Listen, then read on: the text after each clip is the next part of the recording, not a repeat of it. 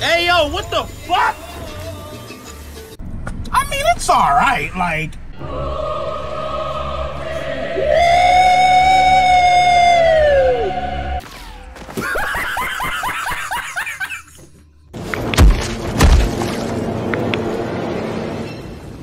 I'm vengeance.